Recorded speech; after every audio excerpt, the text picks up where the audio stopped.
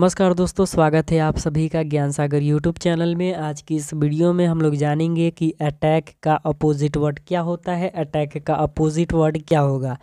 दोस्तों, इससे पहले कि मैं वीडियो को शुरू करूँ, आप लोग वीडियो को लाइक और चैनल को सब्सक्राइब कर दीजिए ताकि आपको डेली ऐसे नए वीडियो देखने का मौका मिले। चलिए दोस्तों, वीडियो को शुरू करते हैं।